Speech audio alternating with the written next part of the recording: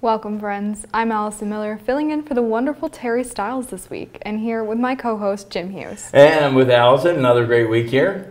Thank you. In today's headlines, Oakland County approves half a million for Oxford investigation, the second season for two sports fundraisers, and road safety updates from Chief Solwold. So sit back and stay tuned because you're watching Oxford News this week.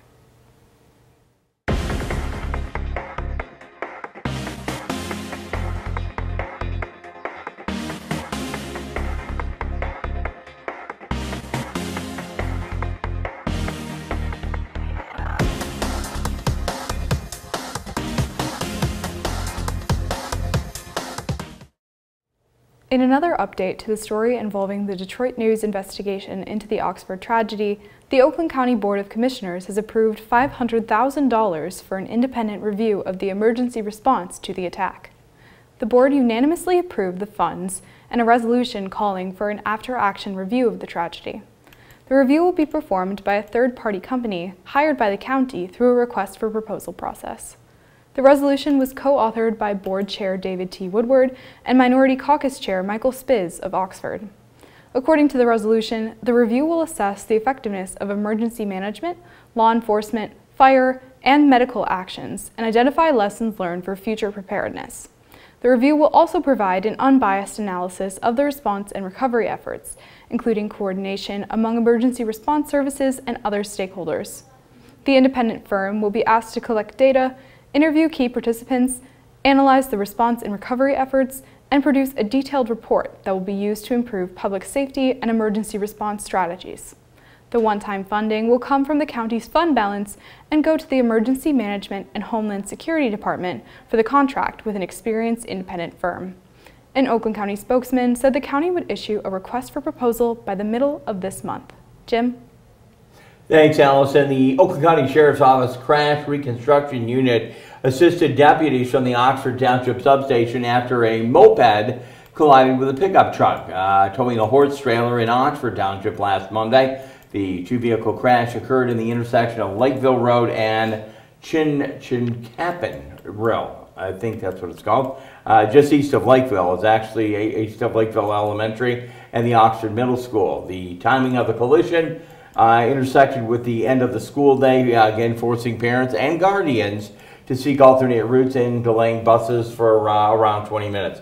29-year-old resident of Washington Township was operating a 2020 Ford 250 pickup while towing a horse trailer with six horses west on Lakeville Road at roughly 2 in the afternoon, 2.50 in the afternoon. She was uh, struck by a 2024 moped operated by the 25-year-old Oxford resident, the moped operator, was traveling north on Chincapenrill uh, when he uh, failed to stop at the stop sign for Lakeville Road and then struck the side of the Ford F-250. The moped operator was wearing a helmet, was transported to the McLaren Oakland Pontiac by Oxford Fire Department. He was listed in stable condition at the time.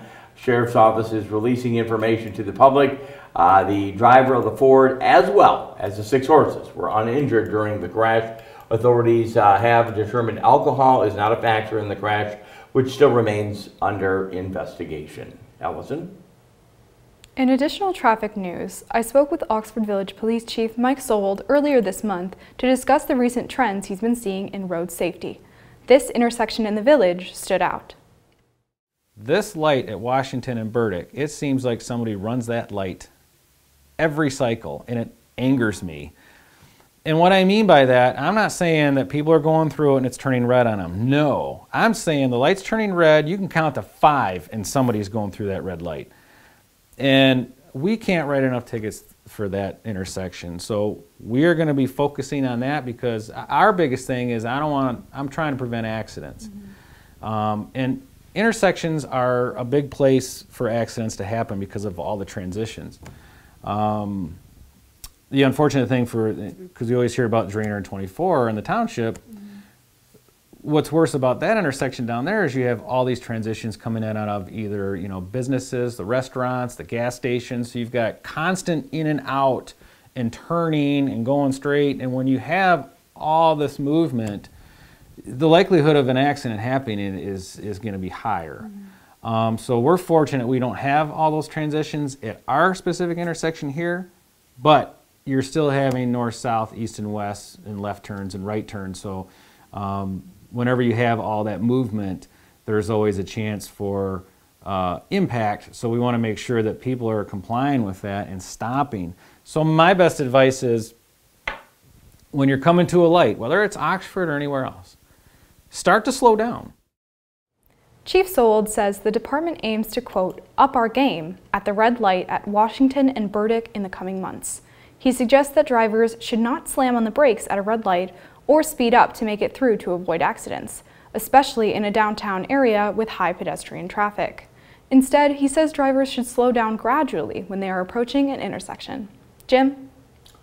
The Oxford Suzuki Strings program is now open for the first uh, through the fifth graders interested in learning what it takes to play a violin. The program aims to build a strong technical foundation for years of musical study and ultimately involvement in the Oxford Orchestra program.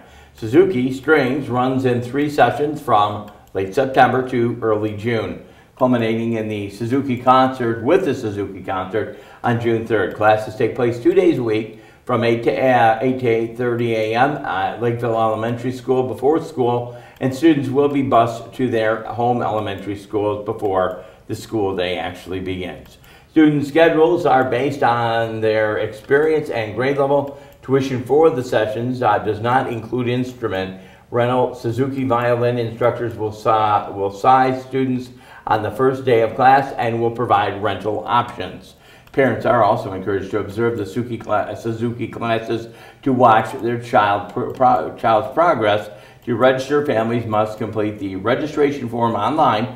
The form can be found on the, at the Oxford Community Schools Facebook page.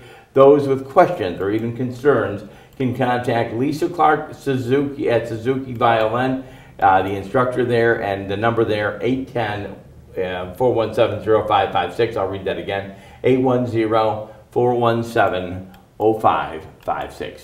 Allison? The third annual Health and Wellness Fair Open House is bringing resources and education to the Oxford Township Parks and Recreation Senior Center this Thursday. The fair runs from 11 a.m. to 1 p.m. and includes free blood pressure checks, medication reviews, immunizations, fall risk screenings, and community resources. The first 25 people to check in will be entered into a drawing to win a downtown Oxford gift card valued at $50. The winner will be announced at 12:45 p.m. During the event, visitors can learn about program offerings, community resources, and more to maintain health. Then, from 10 a.m. to 3 p.m., the Michigan Secretary of State mobile office will be making a visit to the Senior Center as well. The mobile office will help provide service to seniors in Oxford and neighboring communities to aid those with limited access to the internet and transportation. Secretary of State offerings include applying for a first-time Michigan ID, renewing driver's licenses or IDs, applying for or renewing disability placards, transferring titles, and more. Registration is required for an appointment with the mobile office and can be made by contacting Oxford Township Parks and Recreation Supervisor Don Medici at 248-628-1720. Jim? And thank you, Allison. Oakland County Sheriff Mike Bouchard is calling on Congress to pass legislation to allow police the enforcement of drone laws after an incident involving a drone at the Comerica Park earlier in the month with the rock band Green Day was rushed off stage in that event uh, in the middle of their concert at Comerica Park after the individual outside of the event flew a drone into the stadium. According to the Detroit Police Sergeant Darren Zau, the man was questioned but not arrested, and the department forwarded the case to the U.S. Federal Aviation Administration following the incident, and Oakland County Sheriff's Office press release stated that the local law enforcement does not have the authority to disrupt drones, uh, claiming that the only federal government currently possessing any powers, Bouchard said, uh, for the Green Day delay was just another incident uh, that actually brought an issue uh, to the forefront. Bouchard also said that thankfully the drone flying appears not to have been done with malicious intent, but warned about the possibility of weaponized drones and the inability for police organizations to actually take any action. At the most recent Dream Cruise, the Sheriff's Office noted there were 85 illegal drone flights over the event, including seven that created public safety issues. The statement said that this is under, uh, exist, under existing laws. Violators are subject to a fine and there are no criminal penalties for using the drones and those drone violations. Allison? An Oakland County judge has been removed from her docket for unprofessional conduct after a high-ranking court official recorded her making racist and homophobic statements. The probate judge is Kathleen Ryan, who has been on the bench since 2010. Oakland County Probate Court Administrator Edward Hutton alleges Judge Ryan has been calling him both during work and after hours for years, and he said that during those hours and hours of calls, Judge Ryan said highly inappropriate things, including the discriminatory language and comments about her sexual encounters. Hutton said he began recording her calls after feeling like the harassment was not going to change. Judge Ryan was removed in late August for unspecified conduct before media reports of the recordings were published, beginning with Hutton coming forward with an investigative interview with WXYZ Detroit. In the interview, Hutton says Judge Ryan made his life a living hell in the past six years, and that he chose to send out the recordings to ensure people that come to the court have an unbiased trier of fact.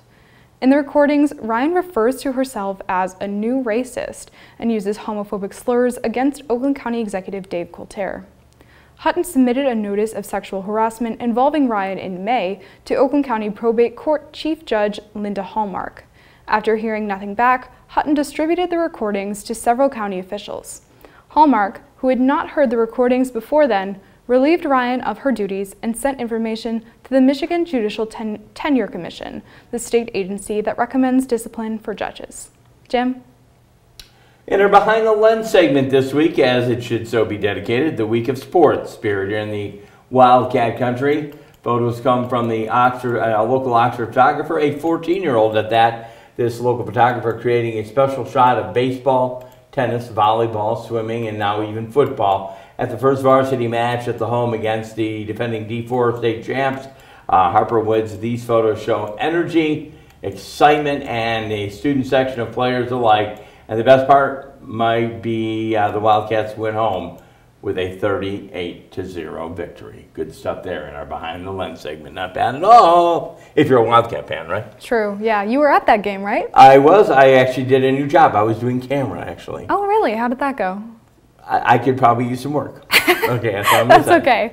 I, I, can only get better. Okay. Yeah, yeah, that's good. Improvement mindset, right? Exactly. When you put somebody in a new uh, a new genre, that's probably a better way to go. I, I had fun. It was a good night, energy packed. Good. And weather helped you. Not that you know, sometimes it can be really fall like at those football games, those oh, later yeah. ones. Yeah. You're all bundled up trying to enjoy mm-hmm. it, right? Yeah, I know. I've worked as a camera operator in uh, Lake Orion's football games. oh, that's a big stadium too. Yeah, yeah, for sure. And make sure that you bring gloves if you're ever out there in the cold because your hands are exposed. Now, did they put you outside too? Uh, you're out there with it because we had um, uh, a young lady that worked here, Mar- um, Marissa, I think. Yeah. Mm-hmm.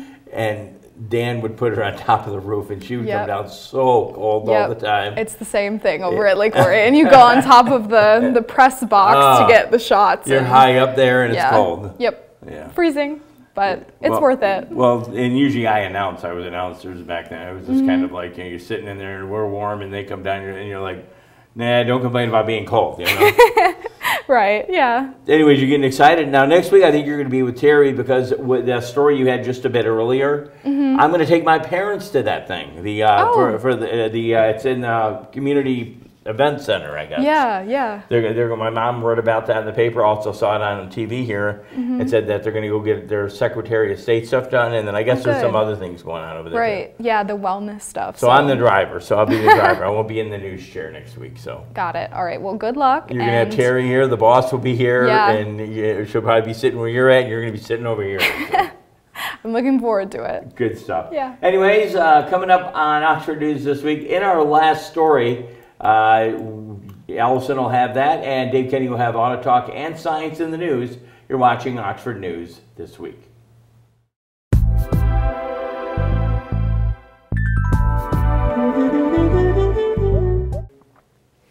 Welcome to this edition of Auto Talk. I'm Dave Kenny, and these stories are taken from Automotive News. In our first story, Stellantis is investing more than $406 million into three Michigan plants to build electrified Ram pickups and Jeep Wagoneers SUVs. The automaker said it will spend $235.5 million updating the Sterling Heights assembly plant to build a fully electric Ram 1500 REV and range extended electric Ramcharger on the same assembly line as the gasoline powered Ram 1500 pickup. To do this, the company said it partnered with equipment suppliers and contractors to carefully plan and execute the installation of a new conveyor system, new automation for BEV specific processes, and the retooling and rearrangement of workstations in general assembly. Stellantis said the Sterling Heights facility will be its first U.S. plant to make electric vehicles. Production of the Ram REV is scheduled to begin before the end of this year. About $97 million uh, will go to the Warren truck assembly plant so it can build an electrified version of the Jeep Wagoneer. Jeep CEO Antonio Filosa has said the SUV will get a range-extended electric powertrain similar to the Ramcharger in 2025. And still at Stellantis, a recall. Stellantis is recalling more than 1.2 million pickups because of an anti-lock braking system software malfunction that can disable the electronic stability control system, potentially causing a vehicle crash without prior warning. The recall affects 2019 to 24 Ram 1500 pickups, and 100% of those vehicles are expected to have the defect, according to documents filed with NHTSA. Defective vehicles were produced from October 31, 2017 and received the February 14, 2024 ABS module software update. The vehicles are being recalled because they fail to meet the requirements of number 126 of the Federal Motor Vehicle Safety Standards. The standard concerns electronic stability control systems and aims to reduce deaths and injuries from crashes caused by loss of vehicle control. According to a spokesman for the automaker, should the system fail, the foundation brake function would be unaffected and the ABS, ESC, adaptive cruise control, and forward collision warning indicator lights will be illuminated at the vehicle startup, indicating the systems are not available. Stellantis first became aware of the issue on February 15th of 2024 when a routine review of customer feedback led to a customer investigation, a spokesman said. Data and field records were analyzed before issuing the voluntary safety recall at the end of August. The automaker is unaware of any injuries or accidents related to the software defect. The remedy, which consists of a software update, will be provided free of charge. Dealer notification is expected to begin on September 12th and owner notification at the start of October. Well, that's it for this edition of Auto Talk. I'm Dave Kenny. Stay tuned to Oxford Community Television.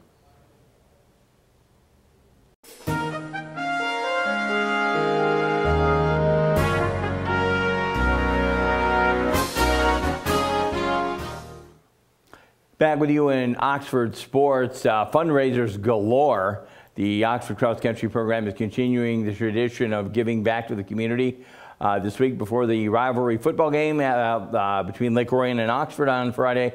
The Oxford cross country team from both schools will run from Dragon Country to Wildcat Stadium in an effort to raise money for the 42 Strong. Again, that's up and coming. Uh, the foundation, uh, 42 Strong, started in the memory of the late Tate Myre, who played football for Oxford High School, and he actually wore the number 42. It is a peer-to-peer -peer mentorship program that seeks to create better futures for by helping students develop greater senses of purpose, community, and resilience. Last year was the first year of the event when a pair of teams raised well over $5,000. The runners relayed the, the, to the game uh, from Oxford High School to Lake Orion, and the drivers honked uh, their horns and cheered out the windows as the vehicles uh, passed by the teams as they ran. Uh, this year, the teams will also be competing to see who can raise the most money to donate to the program. The link to make the donation is already online. Uh, you can visit that online source. Visit Oxford Athletics Facebook page to learn more how you can contribute to either the Oxford or the Lake Orion team. Either way, you're a winner. Those who are interested in cheering on the runners in real time can expect them to leave Lake Orion High School at 4 in the afternoon uh, the day of that contest. The Addison Township Firefighters Association is hosting a Chuck Johnson Skedaddle 5K and 10K fundraiser once again. This will be the second year of the annual event that held in the memory of Sergeant Chuck Johnson. Johnson was a dedicated member of the Addison Township Fire Department uh, uh, from 2004 up until his passing in 2021. And in that period, he helped train, mentor majority of the new hires that are actually there that came through the department doors. He lost a battle with COVID pneumonia after fighting it for well over a month in the hospital. So to give back to the community in his memory, the Firefighters Association is hosting the annual race.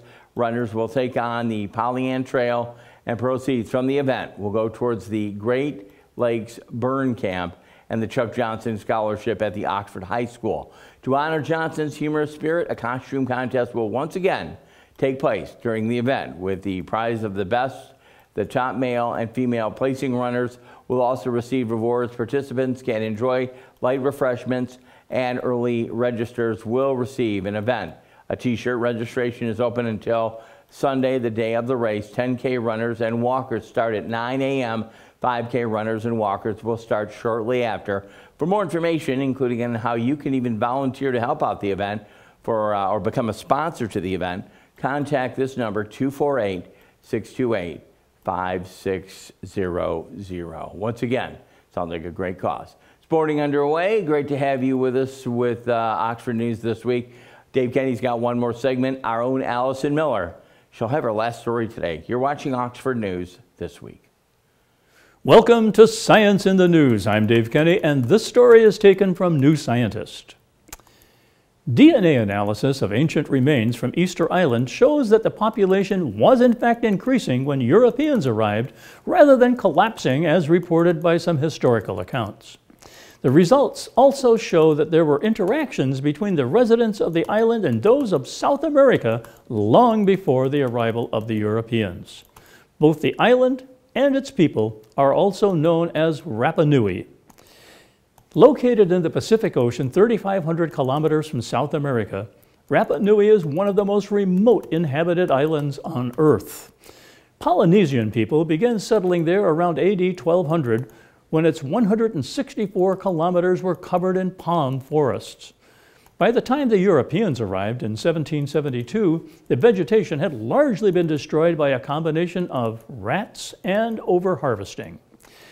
The history of the island has often been portrayed as an example of unsustainable ecological exploitation and population growth followed by collapse. In the latest study, J. Victor Moreno Mayar at the University of Copenhagen in Denmark and his colleagues looked at 15 sets of human remains kept at the National Museum of Natural History in Paris, France, collected by expeditions in 1877 and 1935. The researchers worked closely with representatives of the Rapa Nui community. One of their aims was to confirm that the individuals at the museum were in fact from the island, as there is an effort being led by modern residents to repatriate the remains. The results show that the 15 people, who all died in the past 500 years, did originate on Rapa Nui. A population undergoing a bottleneck from a collapse in numbers will have signals in their DNA showing a drop in genetic diversity, says Moreno Mayar. We are using statistical methods that can reconstruct the genetic diversity of the Rapa Nui population throughout the last few thousand years, he says. And interestingly enough, we do not find any evidence of a dramatic population decline around 1600s as expected from the collapse theory. Instead, the results suggest that the Rapa Nui population increased steadily until the 1860s when slave traders kidnapped hundreds of islanders and a smallpox outbreak killed many more. The study also identified stretches of DNA in the ancient Rapa Nui genomes that have an indigenous American origin. Their analysis suggests that the mixing of these populations occurred around the 1300s. Our interpretation is that the ancestors of the Rapa Nui first peopled the island and shortly after made a return journey to the Americas, says Moreno Mayar. Previous studies have also cast doubt on the story of a population collapse. Carl Lipo at Binghamton University in New York said it was terrific to learn that a completely independent line of evidence points to the same conclusions his team reached in a paper published earlier this year using radiocarbon and archaeological evidence. He says the study confirms that the island was populated with people who lived resiliently and successfully until the arrival of the Europeans. Well, that's it for this edition of Science in the News. I'm Dave Kenny.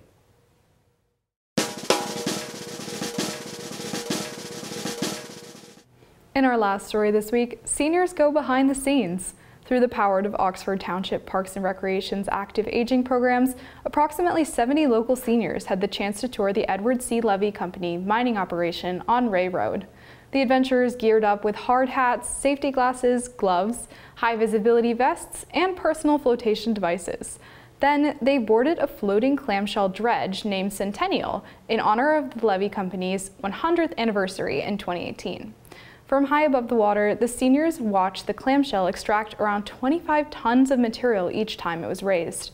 The seniors were treated to the knowledge of Levy director Ruben Maxbauer as he served as the tour guide. Levy extracts over 1 million tons of aggregate annually from the Ray Road site, shipping its products all year long and employing 19 people. More than 400 students have visited the Levy site this year as a part of school field trips, but this was the first group visit for seniors this year. Recreation Supervisor Don Medici is planning another senior visit for next spring, so stay tuned for more information. Always love the last story. Good, I'm glad. it's awesome. It's always that little boost of energy. Yeah, right? for sure. So you're getting excited. I know we talked about it last week, and uh, like you, have one more week doing the news, right? Yes, yeah. So I'll yeah, be you'll here. be with Terry mm-hmm. and, uh, and getting ready. Now, I, I, had this mental picture. I gotta now. When you go to college, yeah, I'm sure you when you get on a train or something, or do you drive? Oh, uh, we drive because we have to carry like all of the things that I need. Okay, room, okay, right? okay. That's yeah. what I was wondering. Okay, I, I, I, saw. Here's the mental picture I had. Okay. You had this big old, this big old crate thing, and you were mm-hmm. pulling it on wheels, and you were getting on the train. Oh, like Harry Potter, like that. Maybe that's how have it you, was. Have you seen any of them?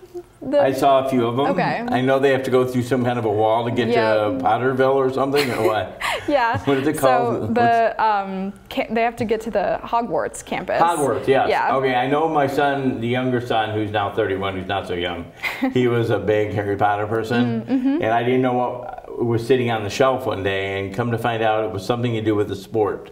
Oh, I think yeah. it was a Quidditch or something. Is that what they call it? I'm pretty sure. yeah, it was a Quidditch ball, and I didn't know what that was. I was like, "What's that?" He goes, "That's Quidditch," and I said, "Oh, well, I'm sorry, I didn't know." Right. but yeah, I mean that was all. That was, and then uh, I do know one thing about Harry Potter, though. Okay. About okay, an actress that is in Harry Potter, Mm-hmm. but she was also in Downton uh, Downton Abbey.